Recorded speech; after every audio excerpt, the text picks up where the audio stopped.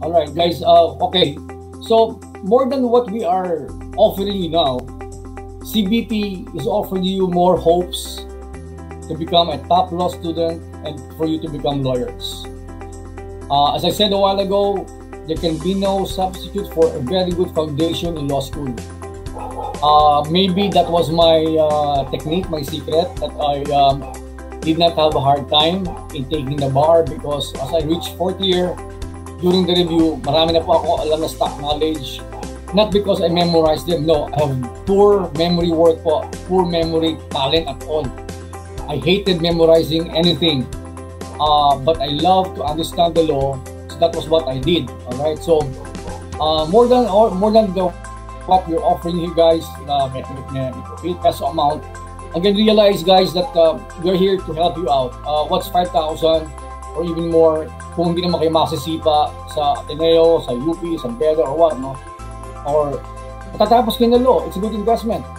Uh, mahal po ang law school, mahal na mga libro yan. Uh, yung araw-araw kayo magbabiyahe, at, at least ngayon Zoom na, pero ganun pa man, you have a tuition fee.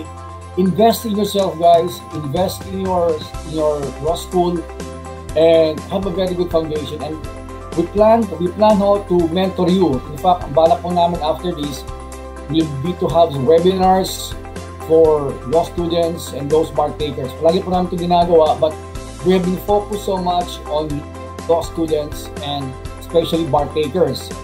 But now, uh, we will be uh, having a program to mentor, to guide you through law school. No?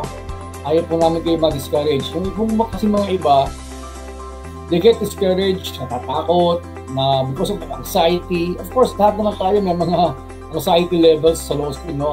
Pero dapat po merong magsabi sa inyo, dude, kaya mo yan. Hindi yan dapat katakutan. Yung professor mo, hindi yan demonyo na dapat mong katakutan. At ang law school, eskwela na lang yan. Dapat ay pasanuba, tapos abogado ka na. And then, ulitin ko ulit, gawa lang ng mga tao yung mga kaso na yan, yung mga batas na yan, kaya mong intindihin lahat yan.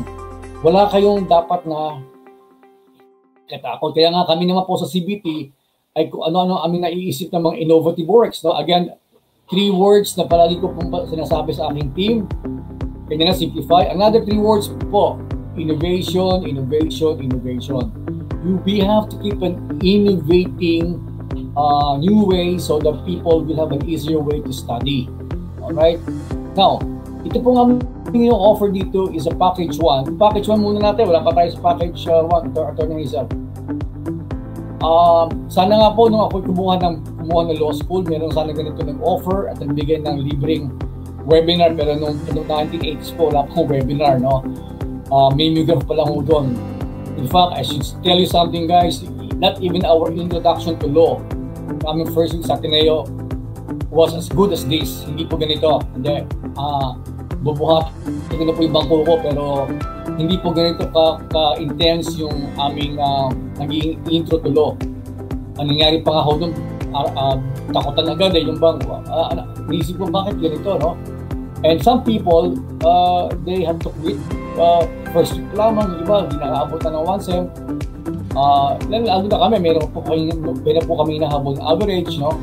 But uh, hindi ho dapat kinakailangan ganun ang ating uh, mindset. Lahat po yan makakayanan natin. So, going back po to CBT's uh, offerings, no? Uh, we have a package for 5,000 pesos po. We will, we will help you make good doctrinal digest of one case each. Uh, ito po yung mga major subjects, no? Diba, bigyan namin kayo ng 21 pages na isang, sub, isang kaso. We will help you uh, how to read. It's not a matter of reading English. Hindi po there is a technique on how to read and be efficient in your learnings and effective. Civil law and criminal law, yan pong tatlong yan ang medyo mabibigat sa law school.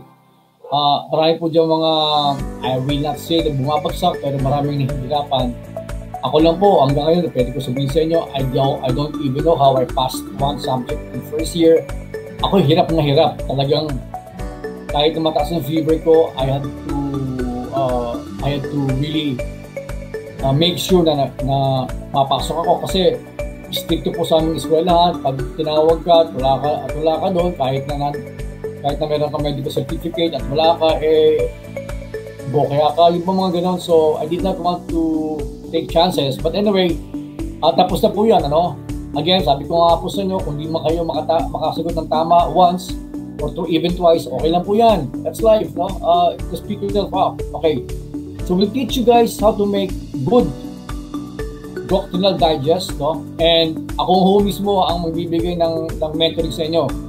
I'm not a tormentor po. I'm more of a motivator. Um, I inspire people like like right now. No, I don't want you to be afraid of anything. And then I will teach you how to analyze laws. Tulad po ng ginawa namin kanina, we'll try to make uh, you understand the law in an easier way. No, discard the unnecessary words. Ano ba sinasabi ng batas na yan?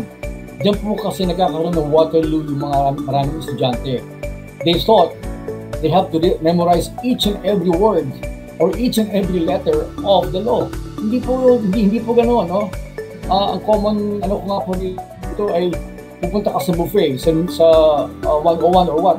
Hindi mo naman uubos na ng pagkain na nasa kusina o nasa buffet table, hindi mo magagawa yun. Tikim-tikim lang yan, okay? And then, magkakaroon po tayo na one-on-one na one hour. Kung ano yung mga ginawa ninyo. We will, we will, make, we will uh, give you a procedure system na ibibigay niyo po sa amin, papadali sa akin yung inyong output at babasahin po ng aming team and then ako mismo ang haharap sa inyo and I will teach you how to recite in law schools. Magsasimulate po tayo, no? Uh, huwag mo kayong matakot. Uh, ang mangyayari po nito, uh, kung meron pa kayong anxieties, no? Eh di ngayon pa lamang, ilabas na ninyo yan para pagdating sa tunay na law school, wala na kayong dapat na ikatakot, okay?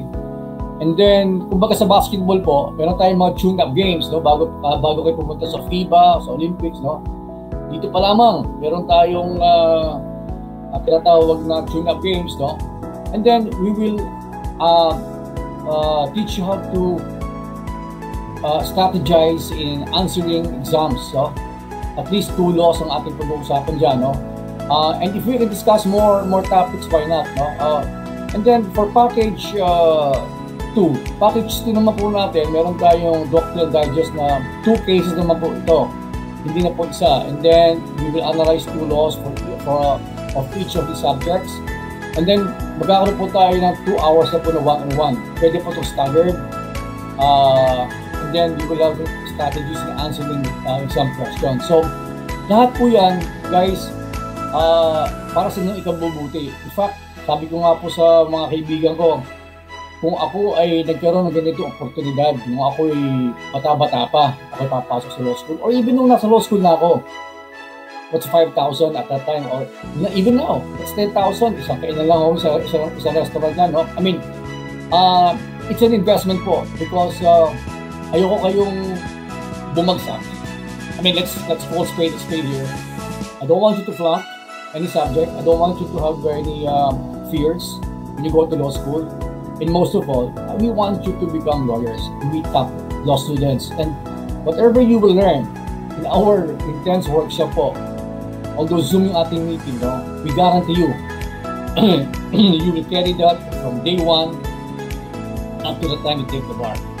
You don't have to be with us uh, every time, every day, although we plan to have a mentoring program na uh, lahat po ng year levels uh, tutulungan namin, no? Uh, nag-uusapan ako namin ngayon yan kasi doon po sa Amerika, in the US, may tinatawag po na bar breed, no? it's a uh, bar, bar review provider, they mentor students from first year hanggang pagkuha ng bar. It's a package price but uh, we're not yet at that level. Pero kami lang po ang nag-offer nito sa lahat po. Uh, most uh, providers of bar review, they, they just uh, cater to the bar reviewees. Kami po hindi. Uh, I've been there, done that. Uh, I think uh, more than the bar review is those who are in law school and those who will be entering law school, they need to have very good foundation. All right. So guys, uh, our email, uh, I think you have our email address, you have our contact numbers. Uh, if you have any question, if you have any uh, suggestions, please let us know. And we can have another webinar. We will schedule it uh, sometimes, sometime uh, or anytime soon. Uh, busy na po kami sa malapit ng darating na bar exam. But uh, I'd like to help, actually personal, personal advocacy ko na po itong ginagawa ko ngayon. Uh, I could be doing something else uh, rather than talking to you guys, but no, I want people like you, I want to inspire people like you to go ahead, reach for your dream of being a lawyer, and uh, it's doable. Doable po yan. Lahat po yan ay kayang-kaya natin.